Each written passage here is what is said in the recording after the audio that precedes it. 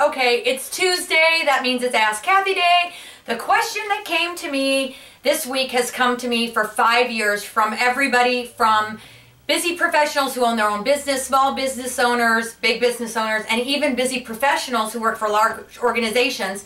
They want to know how do I hire outside help? How do I hire experts? Why do I need to hire outside help and experts? And then it's more of a tell Kathy instead of an ask Kathy.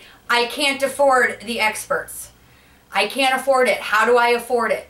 Well, I'm about to tell you that Seth Godin just the other day wrote an unbelievable, he always writes a blog and he's always a genius, but he said there's a transformative moment when you look at an expert as someone who's not doing something that you could do for free. Instead, you look at an expert as cheap because it frees you up to do something that you're good at, better than the expert at. I've been saying for years and years, and some entrepreneurs have been listening to me and some haven't, and the ones who listened to me and did it were transformative in their business. Once you say, I need to hire out what I'm not good at, even though I can do Quicken and I can do the books, I am not contributing to my business's bottom line. I am doing this for my business. This is what I do. This is my core strength. That's what you should be spending 80% of your time doing. You should hire out people who are faster and quicker and better than you at everything else. Let me tell you a big example of when I have a client who has a $5 million company. She doesn't want to pay a recruiter the six or seven thousand dollars it's going to take to find a fantastic employee to fill a spot. Yet that person is going to bring in about $80,000 in revenue over the course of the next year. So she's worried about $7,000, which is a lot of money. I'm not saying it's not a lot of money. But that person doesn't get paid their salary the day they come in. They get paid over the course of the life of the year. And they are going to bring her in net profit $80,000. Out of the first year's profits from that employee, you take the $7,000 that you need to pay the recruiter. Those are the kind of things that I'm telling you, your time and your energy are worth a lot of money to your company.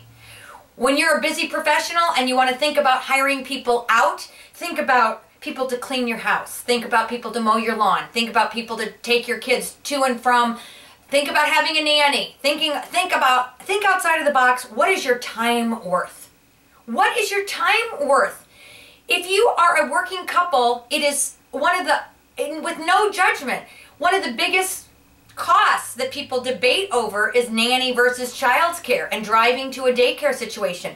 You have to sit down and decide whether that's important for you and your career, and that's okay. For you and your husband to say, we want to be able to focus on our careers and spend every minute with our kids that we can and not have it be in the car driving. And it might cost you more in the first couple of years, but guess what? You're home faster. You your nanny may be able to grocery shop, do your dry cleaning. You don't clean the house. You don't know that. Those are things that you need to do think about when you're hiring experts at home and in your business life as if you are an entrepreneur. You can afford it. You can't not afford to be spending the time on doing what you do really well 80% of the time because that's what you started your company for. That's what your organization hired you to do. So if you want to fill your cup and you want to be doing something that you're good at and feels great and doesn't feel like work, then you hire everything else out and it pays for itself. I guarantee you. And when you have that aha moment that it's not someone replacing you, and you're giving away money because you could do it for free. It's more an investment and an expert is the best thing and the most wise decision you can make for your business and your personal life. That's why you hire experts. That's your back pocket strategy for the week. Make it a great week.